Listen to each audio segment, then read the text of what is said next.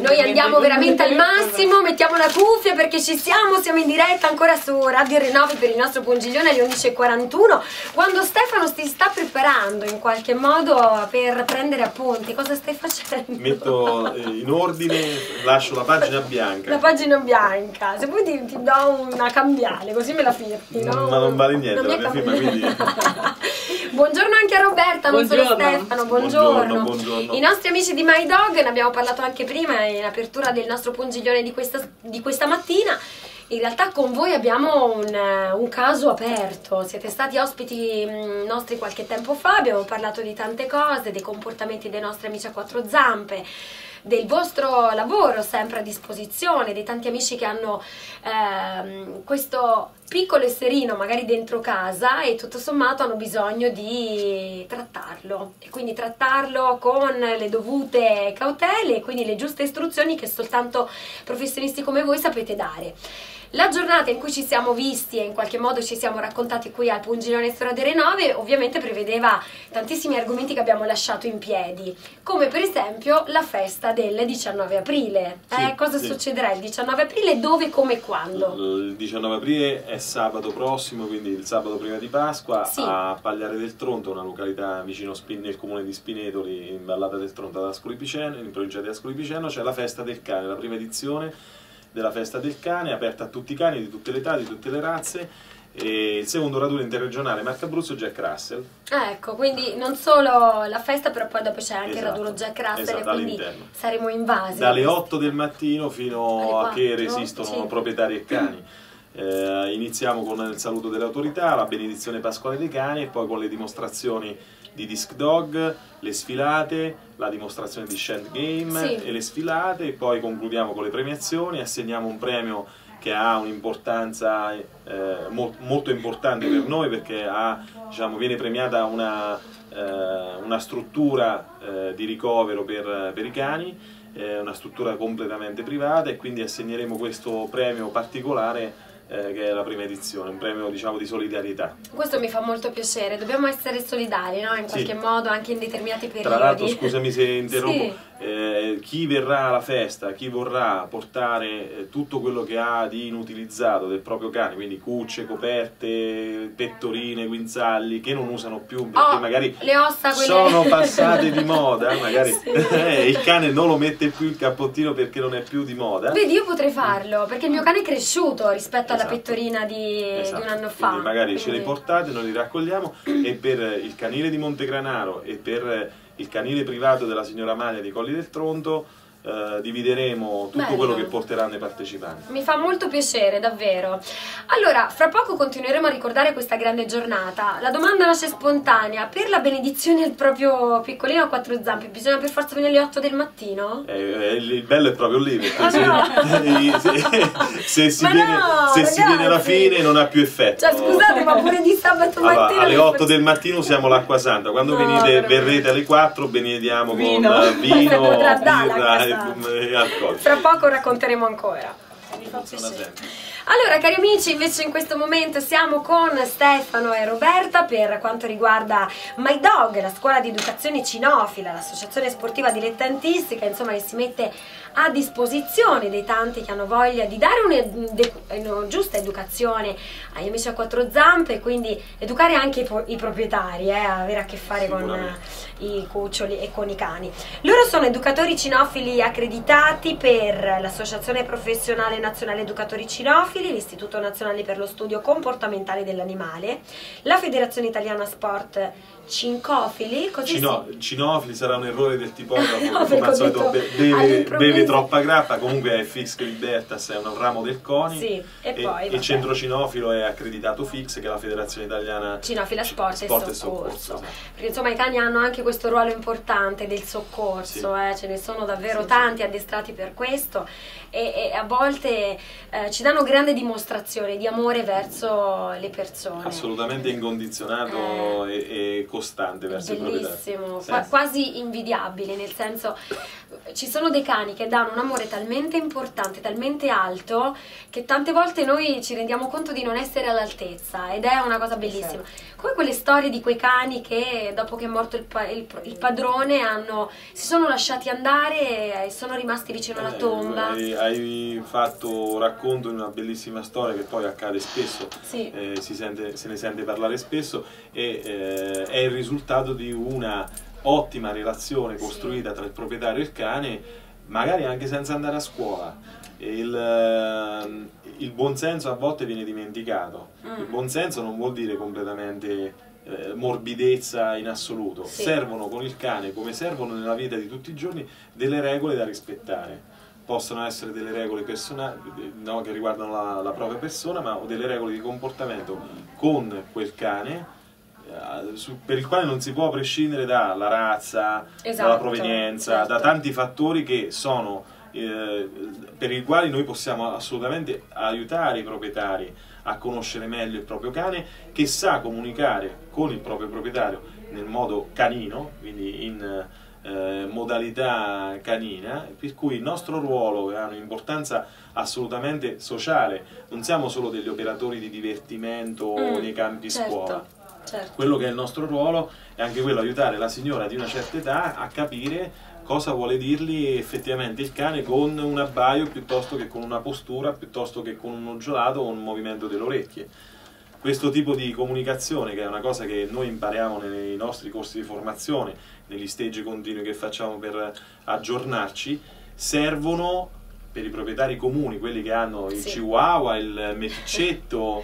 eh, Perché hai detto Chihuahua subito? perché mi, mi sei di fronte e tu hai Diego, questo meticetto di otto mesi di cui ce ne parli spesso e siamo felici di sentire questi racconti Bello, perché Diego. vuol dire che ne sei assolutamente innamorata. Questo è bellissimo per un proprietario. Naturalmente quello che cerchiamo di insegnare è di non creare una simbiosi a tutti gli effetti con il cane Eh perché sì. produce da una parte degli effetti, Esatto. dall'altra alcuni altri. Beh, sì, allora l'amore può essere incondizionato, però resta sempre un cane e tu resti sempre una persona. Allora, mi parlavate a microfoni spenti, poi magari approfondiremo altri discorsi perché ci sono dei messaggi rimasti così in piedi anche dalla scorsa volta. Eh, parlavamo del fatto che è importante che il cane non salga sul letto, perché Sì. molti lo fanno, molti dormono col cane, il cane è abituato a dormire ai piedi del letto, il cane sale, insomma è una cosa buona o no far salire il cane sul eh, letto? Puoi rispondere tu. Roberta, eh? Allora, spieghiamo che il fatto di farli scendere dal letto al divano è importante per il segnale che si dà al Sì. cane. Allora, in natura normalmente il, ehm, le priorità le gestisce il capobranco, il genitore. E le priorità quali sono? Il posto dove si dorme, il, eh, il cibo, il, eh, le interazioni. Per questo non farlo dormire con noi sul letto o farlo stare sul divano come messaggio è sbagliato, perché è un condividere che in natura non esiste. Una scala gerarchica è serenità e tranquillità, perché ognuno ha il suo posto e così funziona in natura. Se noi invece gli diamo questo messaggio è come dirgli sei tu il capo di casa, perciò se poi ha dei comportamenti scorretti per noi, come quello di marcare in casa, eh, Marcare, pensiamo- cari amici, significa fare Fare- pipì ovunque. Esatto, fare la Ecco. pipì. Esatto, poi noi pensiamo che lui ci faccia un dispetto, invece è la manifestazione di un disagio, come farci capire che lui non gradisce che noi lo lasciamo da solo, perché se gli abbiamo fatto credere che lui è il capo di casa, allora non vogliamo che tu te ne vai. Anche il- molto spesso noi, ehm, allora, tieni presente che noi quando riceviamo un cliente al campo siamo abituati a fare un'intervista piuttosto lunga al proprietario e al cane, perché poi non tutti eh, sono disposti a eh, sacrificare del tempo per un percorso educativo che poi Esatto. serve per tutta la vita. Purtroppo. Eh, All'inizio Eh. noi questa intervista che comunque è prodotta da eh, alcuni eh, specialisti, non è prodotta dal primo che è passato, e metteteci sta domanda nel...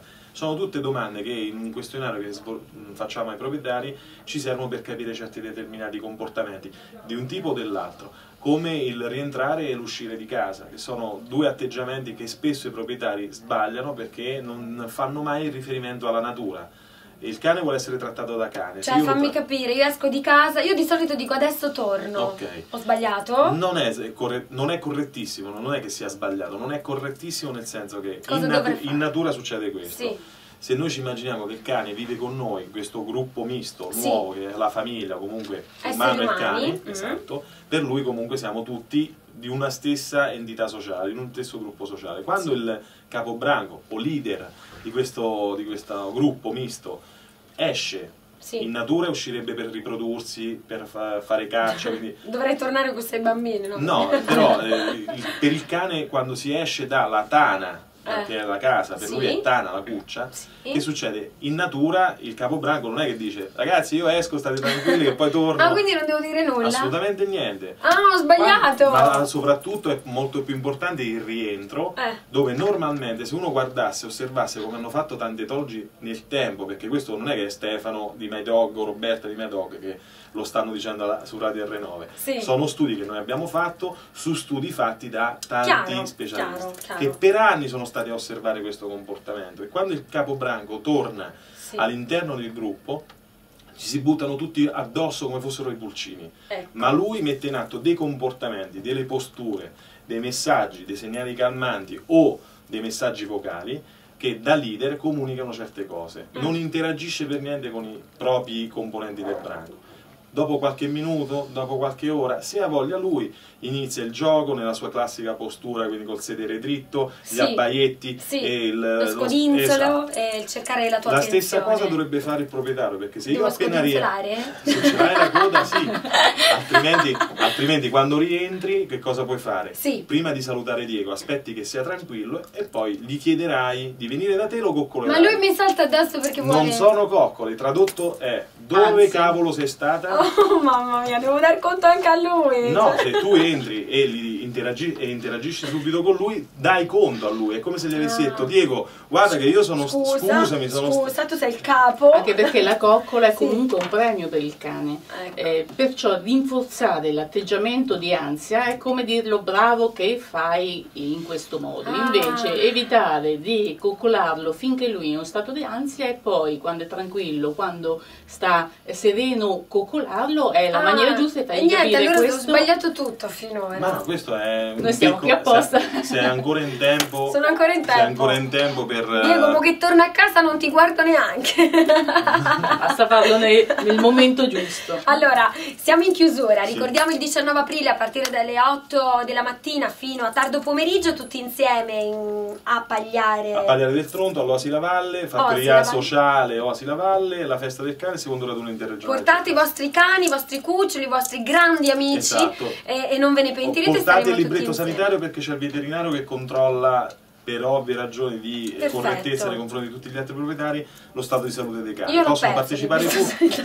Lo- lo- possono partecipare tutti.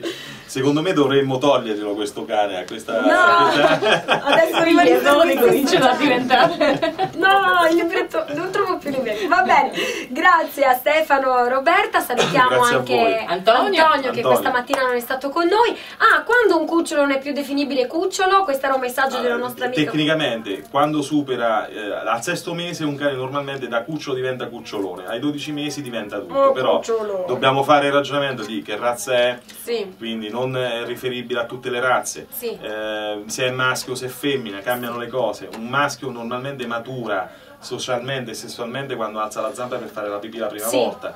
Ma i cagnetti piccoli di taglia piccola, meticci o di razza, normalmente per istinto di sopravvivenza è la natura che gli dice sbrigati a crescere perché, Perché sennò te si piccoletto". mangiano, Brava. certo. Maturano più in fretta. E infatti. ricordatevi sempre che questo esisterà sempre nella testa del cane, l'istinto di sopravvivenza. E molti proprietari, quando umanizzano il cane, Non fanno questo grande errore di dimenticarselo. non va bene, non umanizzate il vostro cane perché il cane deve essere tale. Grazie davvero ragazzi, io spero che mi veniate a trovare molto presto. Viva Diego! E viva Diego, il mio piccolo. Grazie Roberta, grazie a Stefano, Grazie ci si vede sabato Grazie, in giornata, grazie, va bene? grazie a tutti. E viva My Dog.